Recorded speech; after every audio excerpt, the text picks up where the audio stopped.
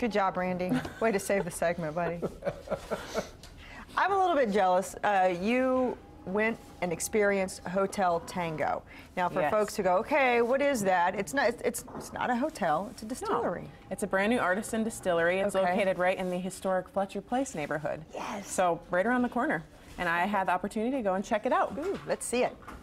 Travis, Hotel Tango Whiskey, how did this idea even come about? Well, a few years ago, um, I became interested in kind of the spirits movement that was following in the footsteps of beer and wine, and I decided that I wanted to give it a try. And you are actually a veteran, which a lot of people may not know. Can you tell me about that? Yeah, so I started college in 2001, and uh, shortly after the events of 9/11, I dropped out of school and enlisted as an infantryman in the United States Marine Corps. Did three tours in Iraq. Wow. Well, thank you for your service. Thank you. So that's very different to go from your military background to something like this. Absolutely. I always wanted to do something a little bit different and off the beaten path. Brian, with Indiana state laws, the idea for Hotel Tango Whiskey is something that you had to move on rather quickly. We did. We had an opportunity to take advantage of the state legislators' laws, uh, giving everyone in the state of Indiana 180 days to take advantage of getting their, their federal and state permit before the end of 2013. The law changed over to say that you had to be a brewery or a winery for three years before you could go into distillation and get your distillation permit. Hotel Tango Whiskey is not only a tasting room, but also a retail establishment. That's correct. We do tastings at the bar, currently um, on the house, as they say. And we are currently serving rum and vodka. More spirits to come gin, moonshine, various whiskeys, aged and unaged, and a limoncello. We also offer a great tasting room to kind of just sit, relax, really enjoy the environment.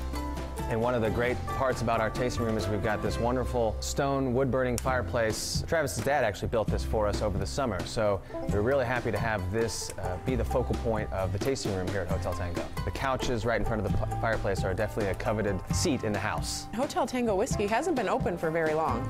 No, we've we're just uh, reaching the two-month mark. We opened officially September 15th, so we're really excited about how it's been over the last two months, and we're really looking forward to continuing to not only offer the current uh, fare that we have, but additional spirits as we move on to the coming months and hopefully coming years. There you go. Wow, and that building seems to really lend itself to being a distillery, but that's Right. wasn't its original purpose. It was uh, built in 1890, I believe, Okay. and it was a hearse storage and a Oh. buggy mechanic shop. So they actually have mechanic, the, huh? the circle from the original turnstile in the middle of the floor, and they have the horse tie-ups on the wall, and pretty neat. And obviously, with me having a baby, I uh, wasn't really able to indulge in all the tasting. Right, you really weren't But able to I'm- sample anything. I'm sure I'll be back with family while I'm still pregnant, and then after after baby, I will be back to be And- sampling all that they offer there.